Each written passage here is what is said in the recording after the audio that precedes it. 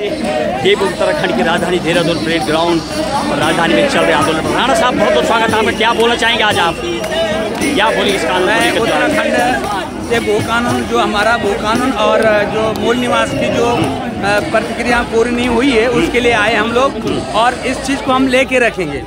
बराबर आप देख लीजिए। उत्तराखंड में सरकारों को बताना आना जाना बना रहा है क्या आगे हो पाएगा डबल इंजन की सरकार? होगा ज़रूर होगा क्यों नहीं है? सरकार ऐसा नहीं है। सरकार सोच रही है। सरकार ने पहले भी इस विषय में बात की है। हम्म। ये होना है। और लगातार इसमें बात करूँ राजधानी की तो सबको ये उम्मीद है कि डबल इंजन की सरकार है बीजेपी हाँ, लौट के आई है। तो शायद इनकी मांग पूरी हो पाएगी बाहर। ये देखिए सीधे राजधानी दिल्ली में हो रहे आंदोलन पर सीधे ग्राउंड ज़ीरो की